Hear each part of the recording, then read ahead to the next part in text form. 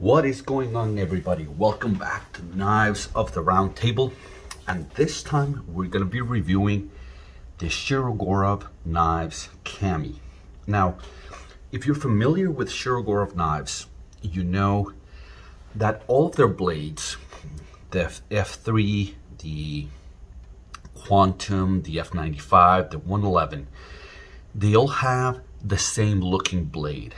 It is a very minimalistic drop point with a flat grind. If you look at one of their blades, they're incredibly well made, but they are, they all look the same. They are, uh, you can tell they're Shirogorov. They are very utilitarian. They're awesome, but they all look the same. So when the chance came uh, for me to to get the Kami, I traded my Quantum for the Kami uh, with with Knife Sergeant.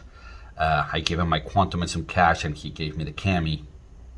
I jumped on it for two reasons. First, the blade on the Kami is is kind of different from everything else Shirogorov does. It's uh, it's a sheep's foot, you know, with with like a kind of reverse tanto looking thing, a swedge. It just has a lot more interesting aspects, and and I like my blades to have a little bit more uh, more panache, if you will. So I traded my my Quantum Special because it had my Quantum had a four inch blade and I don't like uh, that larger that, that larger blade. I sh probably shouldn't have bought it, but you know I, I couldn't resist the you know when when when I had the chance to buy the Quantum. But I was actually fairly fortunate to be able to trade to trade for for this one. Uh, so this one is uh, especially smaller than the Quantum. So this has overall size of about eight inches, and the blade is just over three and a quarter inches. So this is right in my sweet spot of, of, of blade size. Three and a quarter is, is just, it, it's exactly where I'd like, if I were to design a knife, that's where, that's, that's the size that it would be. It's a titanium frame lock uh, with, uh, you know, interesting uh, uh hardware. It's got all of this uh, kind of topographic uh, milling uh, about it that looks it that makes it look really really nice. It has a very interesting uh, back spacer in that the screws go in this way into the handle scales and there's nothing else in the back. And they've incorporated a lanyard hole into that. So I think that's that's incredibly well done. I think that's that's very very uh, ingenious, if you will, and especially the blue screws. That looks that looks phenomenal. Um, the blade is a S110V. Let me try and show you that. Yeah, so they, they say that, I don't know if you can tell, right in the middle. It's S110V, so incredibly premium steel. And, and it's a collaboration uh, with Dimitri Sinkevich. Uh, so it's a Sinkevich design, and it's kind of one of the only reasons why the blade shape is different from a lot of other Shirogorov knives that you that you may have seen. So let's let's jump in here and let's do some size comparison so you kind of have an idea of, of, of the size of the knife. That's the mini bug out and that's the Benchmade uh, full-size bug out. So a little bit bigger than the than the full-size bug out, uh, not by not by much. Um, it's it's a little bit longer uh, in both the blade and the handle but it, it handles it handles relatively uh, well, uh, uh, especially because it's not a thick knife. This has a relatively thin blade. It's still a little bit thicker than the than the bug out because the bug out is just ridiculously slicey. But I would say that this one carries it carries really small in the pocket because like if you compare it with the, with the Para 2 you know, you can see that the Para 2 is, it, it, it, it almost looks like a, like a monster besides it. I mean, it's, it, it almost looks like the Para 3 is a better uh, size, although blade size, the sharpened blade length, so the, the, the Kami has more sharpened blade length than the Para 2, even though handle-wise, the, the Kami is, is smaller than the, than the Para 2. If I compare them in when they're closed, you can see that the Kami carries much, much smaller than, than the Para 2. It's, it, it carries really, really well in the pocket. It's, it's, small, it's slim, but you still get a three and a quarter inch blade, which makes it really, really useful. Um, ergonomics on the knife. Ergonomics, I'd call, it, I'd call them decent. Uh, in, in my size of hands, the space between the flipper tab and this final uh, curve here, my hands fits, uh, fits perfectly. I don't feel like it fits like a glove, especially because it's a smaller knife. It's small in this dimension and it's thin, so it kind of disappears in my hand. So I would call the ergonomics decent, uh, but not, not nothing not nothing great. Uh, I'd say that there's there's definitely knives out there that that have better ergonomics. Uh, you get okay ergonomics when you have more of a neutral handle, you know, when you don't have finger grooves and that kind of stuff. Yeah, and that's you know they do them like that so that if it's a more uh, a, a, larger range of hands, you know, small hands, big hands, fat hands, whatever. Um, so that helps with that.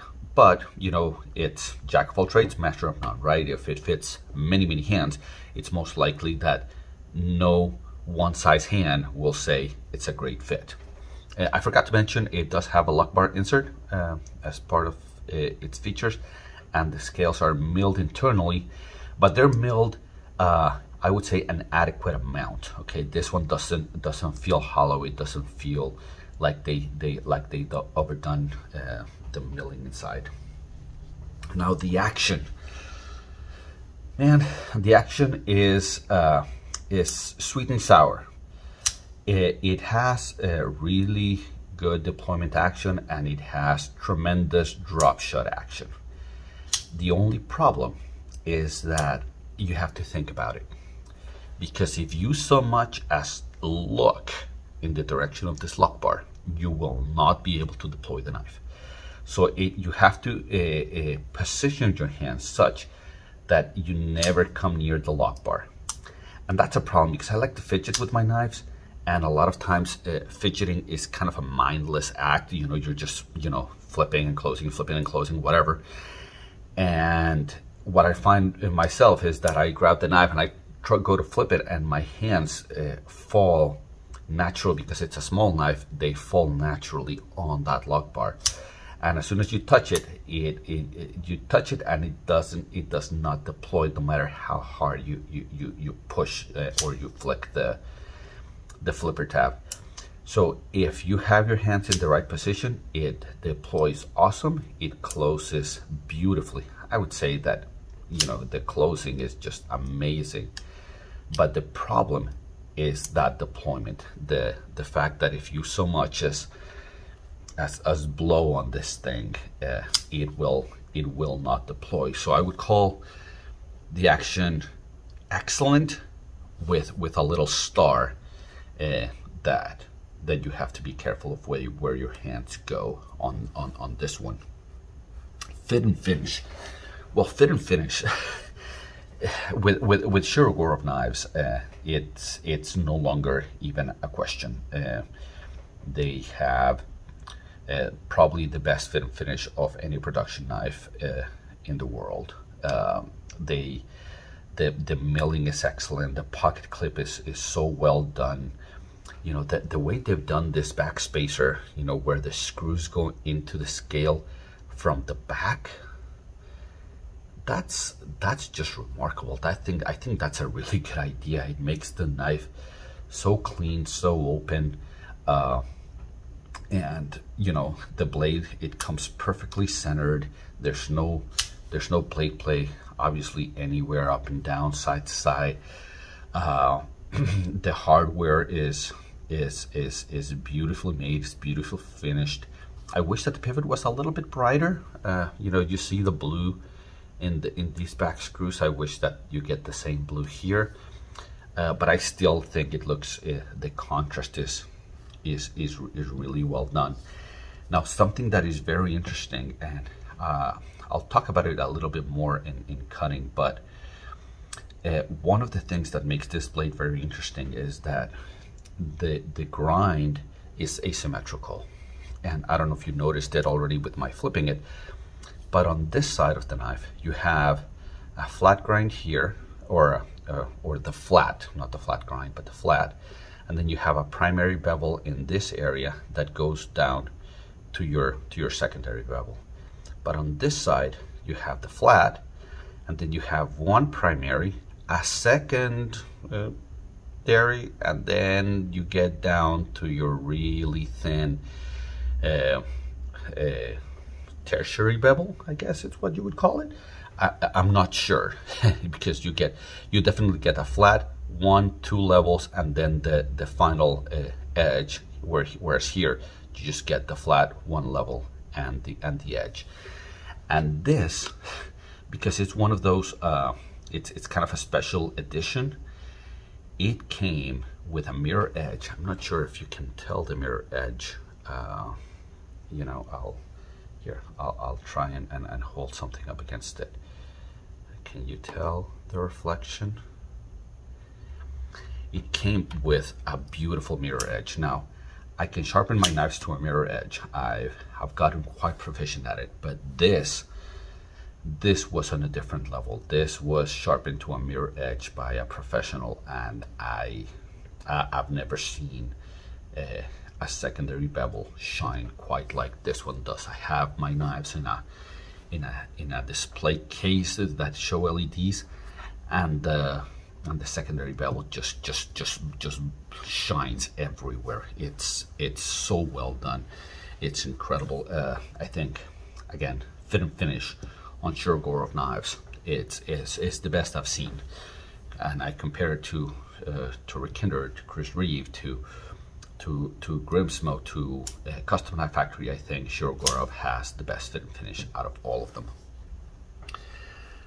Cutting, well, cutting is actually really really good with this one. Uh, so it has a, a, thin blade, and because it came screaming sharp out of the box, because it comes with this crazy crazy sharp edge uh, with a mirror edge and because it is an S110V it cuts like a charm and it'll probably cut like a charm for as long as I have it. I'm not sure what's gonna happen when I have to sharpen it. Um, I've never sharpened an asymmetrical uh, edge. I'm not sure because I, I use a, a fixed system that rotates the blade but that puts the same secondary angle on both sides of the blade. I am not sure what happens with with this one. I think this might just need to go back to Shirogorov to get sharpened but again, it's this 110V, so, you know, uh, with as large as my collection is, this probably gets carried once a month, maybe. It'll be it'll be a couple years before before I see any any any need for for blade sharpening. It cuts it cuts incredibly well. So the airing of grievances, what I don't like about the knife. Well, I, I briefly touched on on the lock bar man i i think that's that's the biggest one. I this would be a damn near perfect knife if if i could just mindlessly uh, uh, flick open this knife and close it. But as it is i need to think about it. I need to position my fingers such that they're either on the clip or or down here. And that's not where my fingers land naturally so i really need to think about it. But once you do you know it still opens and closes especially the closing it just so good. But i man i wish that that the that the lock bar uh, detent was uh, was a little bit different. Now the other thing and one of my big gripes with the knife is is the proprietary hardware. Now i don't mind proprietary hardware when they give me the the tools to do it but in this case the tool to do it is not sold. I mean, it's not it's not given to you with this knife, and it's this is an expensive knife. The bits come with a pen that you have to buy, and it's another three hundred and some odd dollars to get the the the bit for that and for that. And the pen is is a really bad pen. Uh, the the mechanical action on it is not good. They I, I don't think they do a good job with pens uh, and you have to buy the pen to, in order to, to, to be able to disassemble your knife and maintain it. So, you know, not only is it proprietary hardware, not only do they not give you the bits, they sell it to you with a pen that is expensive and that it's that it's not a good pen. You know, because one thing would be to uh, to say, well, you know, it's an expensive pen, but it's a really, really good pen. That's not the case here. So you have to buy the pen just to get the bits, and it's just, I, I just, I just don't like that at all. So I think my experience with the Kami, you see, I couldn't deploy it there. I think it, it's unique enough that I think it'll remain as part of my collection for a while. I'm not sure it's a forever knife for me. Um, and I think if you have a, a, little bit smaller hands, maybe the, the, the detent and the action and the lock bar issues won't be a problem for you. Uh, if that's the case, or if you say, look, I can train myself to, to avoid the lock bar, if you can avoid the lock bar, then I would say this is a phenomenal knife uh, to have in, in a collection. So, you know, all in all, uh, I, I think, you know, the quality, the cutting, the materials, the fit and finish, all of those things are really, really good. Uh, my only two gripes are, you know, touching the lock bar and, uh, and the proprietary hardware. All right, well, guys, there you have it, a review of the Shirogorov Kami. If you liked it, if I've earned it, like, subscribe, and until I see you again, take care.